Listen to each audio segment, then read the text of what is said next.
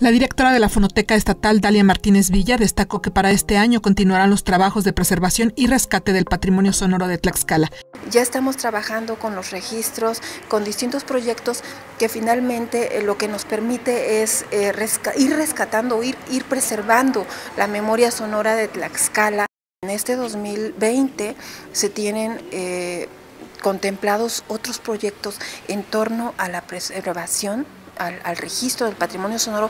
Además, se trabajará en la Sala de Paisaje Sonoro y en el Centro de Documentación de Investigación del Patrimonio Sonoro. Es un espacio que actualmente está trabajando en el ingreso y registro de los acervos eh, sonoros de Tlaxcala y que eh, precisamente eh, este, no, ya nos están llegando materiales de donación eh, hay, materiales muy valiosos de, investigadores, de, especialistas que, han ido donando.